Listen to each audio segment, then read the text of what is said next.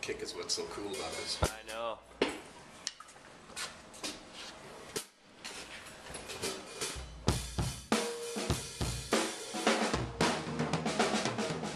Hey boys and girls, this is the new custom Ellis Drum Company kit that one of our, our good customers, Paul, came to us looking for a drum set that looked vintage, that looked literally 50, 60 years old. And we've really achieved that look with our custom inlay kit.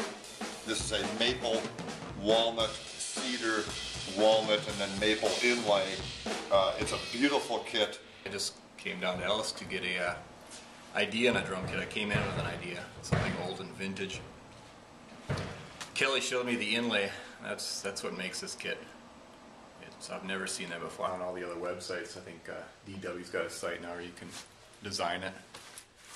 And couldn't quite get what I wanted, so I thought I'd swing it here. I just came into that idea, and he he showed me the inlay. I had no idea you could do that. That was that was awesome. Um, I wanted something really old looking. Thought about piecing together a kit from some vintage kits, but uh, probably wouldn't sound that great. Obviously, this is an Ellis kit, so it's going to sound good.